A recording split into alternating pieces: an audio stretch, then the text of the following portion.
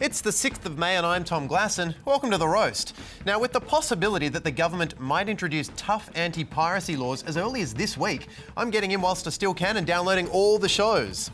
You know it's illegal now, right, Tom? I mean, these would just be different laws. Ah, yes. Um,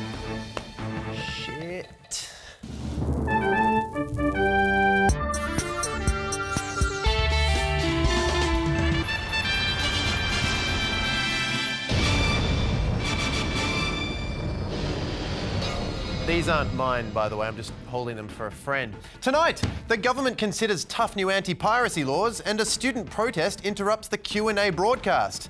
So thank you, student protesters. First, though, Mark Humphries has the headlines. Billionaire James Packer and Channel 9 boss David Gyngell engaged in a fistfight on the weekend. Sadly, there were two survivors. I expected better from Packer. I never thought a man who runs casinos would do anything to hurt another person. The brawl was filmed on Sunday, but like anything to do with Channel 9, it wasn't shown until much later. Let's take a look.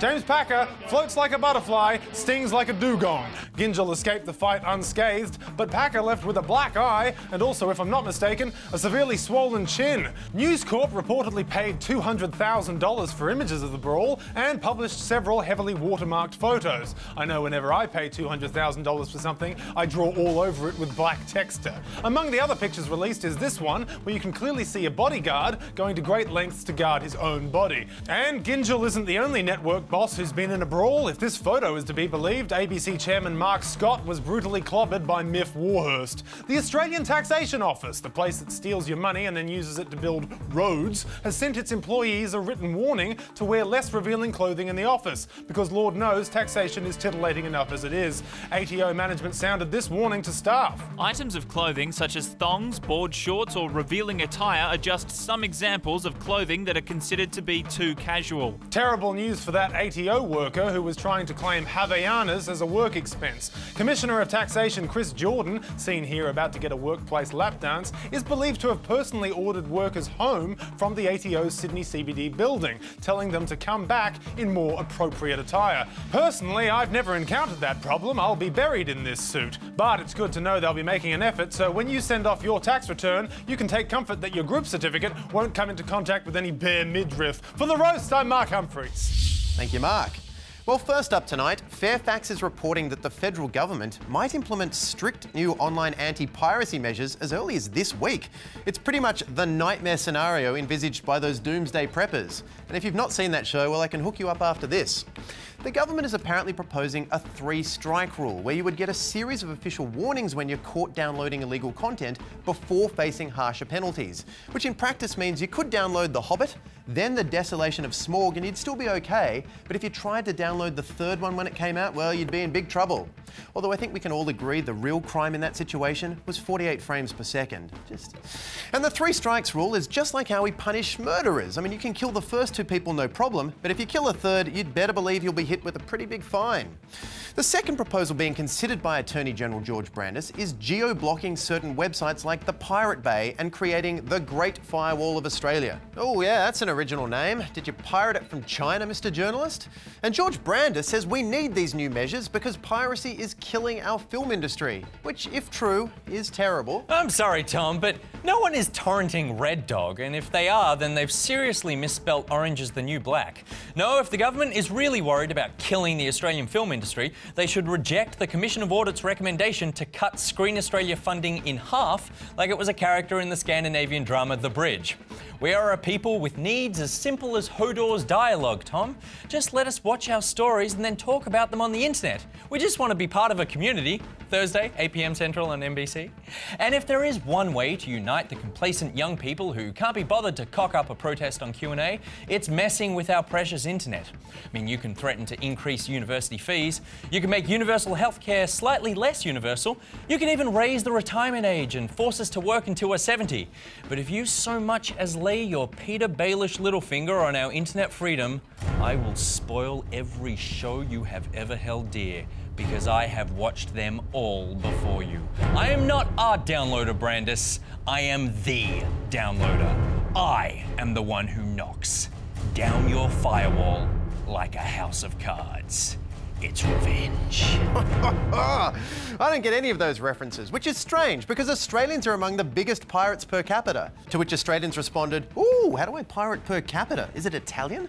So, what drives us to download so much illegal content? Well, one example might be the Lego movie, which was largely made in Australia, but we in New Zealand were then the last two countries to screen it some 54 whole days after its US release. We had to wait ages. Well, almost all of us. Village Roadshow invited the Attorney General George Brandis to private film screenings in Canberra, where an executive extolled the benefits of a strong anti piracy regime. And I think Village Roadshow's onto something here. I will totally stop torrenting films now that it looks like we're getting invited to private screenings by the distributors to see their films ahead of time. And by ahead of time, I mean at the same time as America, the Caribbean, all of the Middle East and Africa, most of our Asian Pacific neighbours, and every major market in Europe. Until then, well, is it any wonder that Australians turn to piracy? Alex Lee has more. You know who understands what Australians are going through, Tom? Somali pirates. Isolated people who watch ship after ship float by, filled with products that they desperately want themselves but can't get in their own country. Alex, I have to say the pirate piracy comparison's pretty stale. So is the American content on Australian screens. Nothing makes us feel more cut off from the rest of the world than watching the rest of the world enjoy great TV. You know, why should we be forced to pay hugely inflated prices to watch something after everyone else? Yeah, but can't we just be patient and wait until it comes here to avoid being punished? Yeah, we could, but you know what's worse than getting fined? Oh, yeah, prison.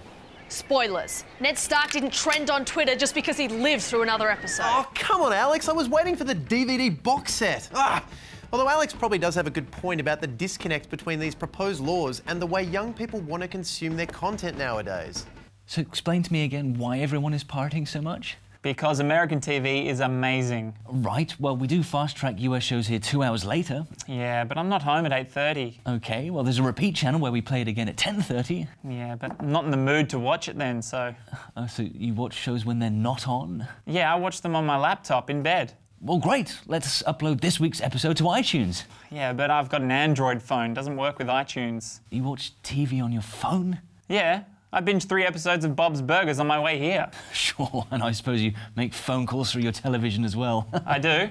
I have a smart TV. I don't really know what I'm doing.